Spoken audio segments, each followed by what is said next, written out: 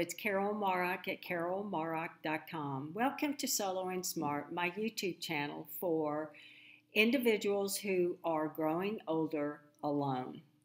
And in the last few videos, I addressed my Aging 101 starter kit. And if you subscribe to my newsletter, you will receive this starter kit for free.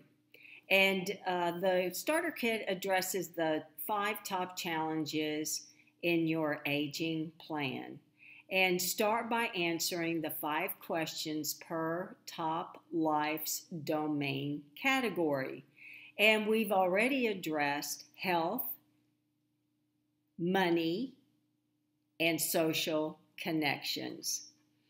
And in this, in the uh, Aging 101 Starter Kit, uh, it's a simple questionnaire, and it's more like a roadmap that gives you clarity and control of the years to come. Because by thinking through the questions that I ask in the kit, will uh, really does give you uh, time to think about and consider uh, how you plan to address the issues around your health, your money, social connections, and the other two, which I plan to address. And by addressing them and answering the questions, you will begin to feel more confident, comfortable, and secure about the years ahead. And the five, the, the five questions or the list of questions really illustrates the top challenges you will face. So just be honest when you answer the questions and think sincerely where you want to be in the next one, two, three, even five, or even 10 years from now. So just knowing what you face and what your decisions will be can instantly give you a feeling of more power and certainty.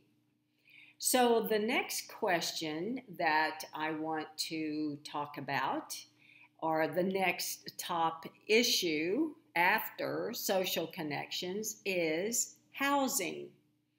And the top questions here that I want you to consider for housing are uh, does the place where I live make me feel con- make me feel content? Does it drain my peace of mind? I remember when I was walking through this uh, this particular issue of housing, I I was living in the suburbs, and I asked myself, does this make me feel comfortable where I live? And quite honestly, it did not because I felt very separate, very isolated from the larger community. So, another question to ask is Can I afford where I live? Is the home age friendly, or will you have to spend a lot of money to make modifications? Another question is Is the location making me car dependent? When I lived in the suburbs, my only access to transportation and getting around was having a car. So that you know, if I came into a situation or an emergency or if I became sick, I really worried about how I can do shopping or run an errand for medications or food or what have you. And if I was car dependent and lived miles away from shopping, that was a concern for me. Uh, another good question Can my family or friends reach my home quickly? Anytime, day or night, and if if there's an urgent need for them to come on over. Uh, does the house put me in an area where I'm alone most of the time? Would I be more content in an area that allows easy access to companions, to having social engagement, to having more access to museums and uh, other activities, parks, etc.? And these are the, you know, social activities that we really need to kind of think about as we grow older.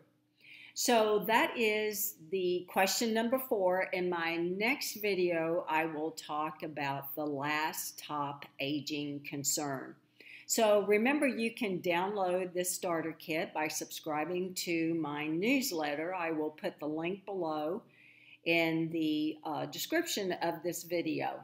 And please circle back in the next few days where I will be giving more tips for aging alone. Thank you for joining me. Please subscribe to my YouTube channel, give it a thumbs up, send it to a friend if you appreciate this information, and be sure to circle back often.